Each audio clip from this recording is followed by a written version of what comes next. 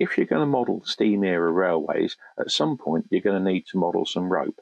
Here's a little selection of the uh, cranes from my layout, and as you can see, they've all got uh, dangly hooks, and so we've had to model some rope to attach those hooks to. But what's the best way of doing that?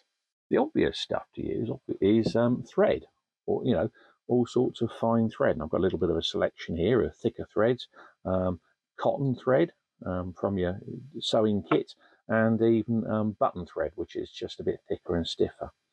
The problem with all these things is that uh, although they look great when they're tight, when you push them, they have a tendency to bend in the wrong way. So real rope, when when it's uh, pushed or slack, doesn't bend upwards. But real thread that we're using here, well, it's too stiff. Uh, it doesn't sag under the weight of the um, under the weight of the uh, thread itself.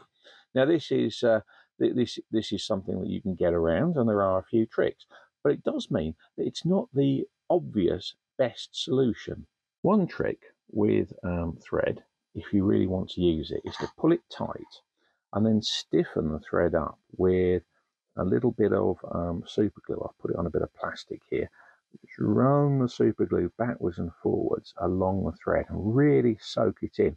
Uh, PVA glue will actually work quite well as well, but it's a bit slower. And uh, so you need to keep the tension in the uh, in the thread for a lot longer. But um, rubbing along, just using a small screwdriver, and you can see that uh, the thread itself is um, starting to stiffen up. The other advantage doing this is it stops the thread getting any um, furrier, which is another problem with this stuff, that it looks overscale furry. Now, if you look closely, you can see that on this crane, which is a uh, Langley Models kit, I've used thread and uh, yes, you can see it's gone a bit furry, but the super glue has made it quite strong, so it's not going to bow anywhere. And uh, you can definitely see that uh, you know, that's quite a that's quite a good stiff bit of thread there. That's not going to hang in a funny way. Doing the hook was a whole whole game because you basically have to sort of hang on to the hook, put a bit of weight on it, then put the bits of thread on, and then run the super glue up and down. Does it work? Yes. Was it a pain? Yes, it really was. Uh, yeah, okay, this is a complicated crane to uh, to to uh, um, thread up, but uh, yeah, this was this was this was a fiddly old job and took actually quite a long time. But I'm really pleased with the result because this is the sort of steam era crane that you would have found trundling around BR yards in the days before you uh, had hydraulics. Uh, everything had to be done with um, with with uh, ropes and pulleys in, in that era. Looks good, but not the easiest thing in the not the easiest thing in the world to use.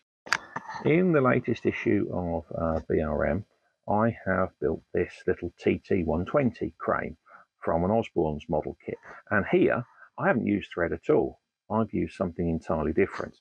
What I've used is this stuff, soft iron wire. Uh, it's sold for florists, but you can usually get it at old-fashioned hardware stores and uh, often from the trade at model railway shows.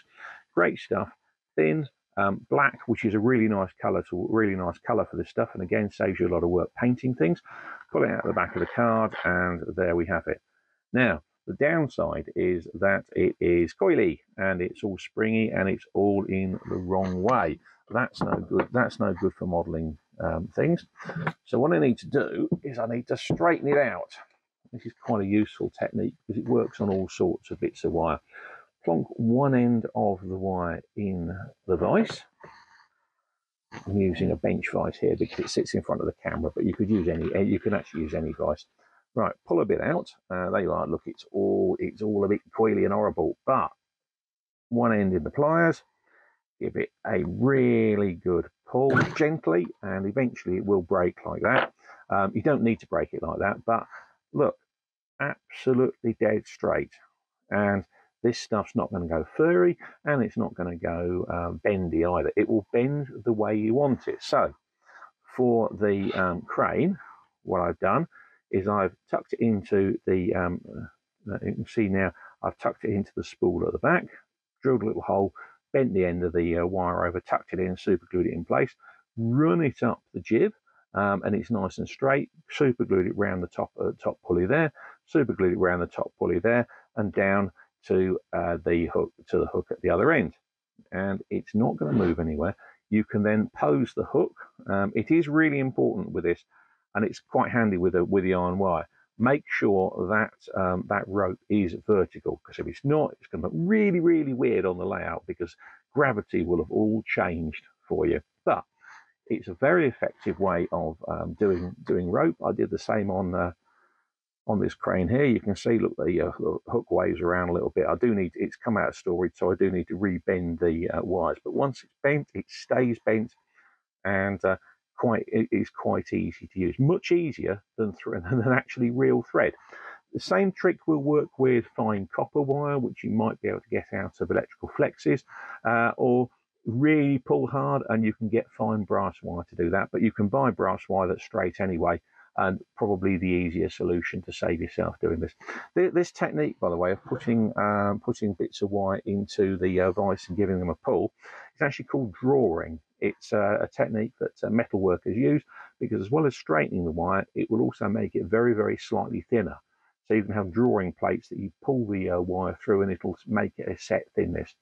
Handy technique, really simple, but do try a couple of times before you work on your model.